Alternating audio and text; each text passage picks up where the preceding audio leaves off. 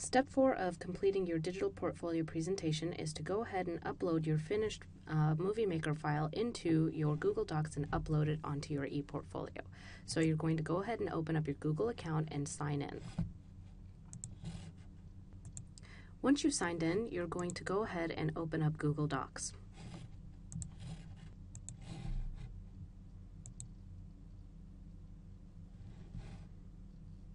Once Google Docs opens up, you're going to click on this red button right here. You're going to click on File, and you're going to go to your desktop or your flash drive or wherever it is that you placed your finished Movie Maker file.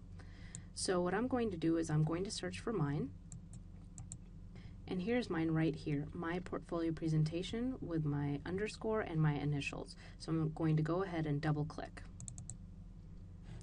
I can see in my right hand screen that it's uploading. I'm going to give it a second to upload. This might take a while depending on the speed of your computer, so be patient and wait for it to finish.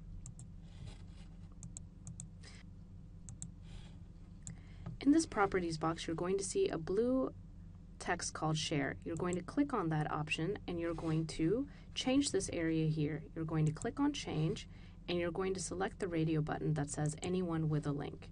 Go ahead and save that and then you should be ready to share it. You can go ahead and click done at this point. Now what you're going to do is you're going to click on your Google site. So I'm going to go ahead and click on site here. You might even see it under here. Once this opens up, just find your website or your Google eSite portfolio. So here's my Google site. I'm going to scroll down to where it says Portfolio Presentation. When I click on that link, it's going to take me to a different page and I'm going to scroll down to the bottom. What you're going to do now is you're going to click on the Edit button and you're going to come down to this area. So you can, at this point, edit this out if you need to, but really what you want to focus on is this area here. You're going to click on that and remove what I have there previously. Make sure your cursor is still here, so make sure you click in here once more. You're going to go to the Insert tab. You're going to come down to the Video, and you're going to insert from Google Docs Video. Here it is right here, my portfolio presentation. I'm going to just click on it like this, and I'm going to select it. It's going to ask me about the width and the height. I can change these if I want and I can change the width and the height right here. So I probably messed up here. I probably should have made this 600 and this about 500 so that it's longer than it is taller. I'm going to click save and just see what it looks like now.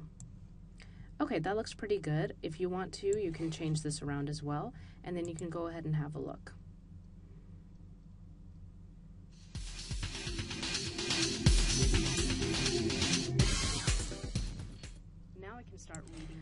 Okay, so it looks pretty good there. What you want to do now is you want to copy this link right here and place this in your Moodle account. So I'm going to go ahead and highlight this and then I'm going to copy it and let's open up our Moodle account. So I'm inside of the Moodle course now and I'm going to scroll down to about week 13 or week 14. I can't remember exactly which one. Okay, week 14. So I'm going to go ahead and click on the Submit Digital Portfolio Presentation, and I'm going to come down here and I'm going to click on the link that I need to. So I'm going to click on the class that I'm in or the cluster that I'm in, and I'm going to make sure to reply to this first option here. You can see my name right here. So click to that, and then what you're going to do is in this next area, you're going to paste your URL. Now, if it doesn't automatically turn into a hot link, you can always just highlight it, copy, click on the link button, and make sure to place it in there as a link, and just click OK. All right, all you have to do now is post to forum.